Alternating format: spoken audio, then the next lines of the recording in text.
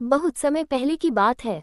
एक जंगल में हाथी और एक बंदर रहते थे। बंदर बहुत ज़्यादा फुर्तीला था और तेज़ी से पेड़ों की टहनियों और शाखाओं पर भाग सकता था और ऊँचे से ऊँचे पेड़ों पर चढ़ सकता था और हाथी बहुत शक्तिशाली और ताकतवर था और बड़े बड़े पेड़ों को तोड़ मोड़ सकता था और अपने पेड़ों से झाड़ियों को रोंद कर रास्ता बना सकता था। हाथी और बंदर की कहानी। हाथी और बंदर दोनों को अपनी अपनी खूबियों पर गर्व था और वे दोनों अपने आप को दूसरे से बेहतर समझते थे और आए दिन उनमें यही बहस चलती रहती थी कि कौन ज़्यादा बेहतर है।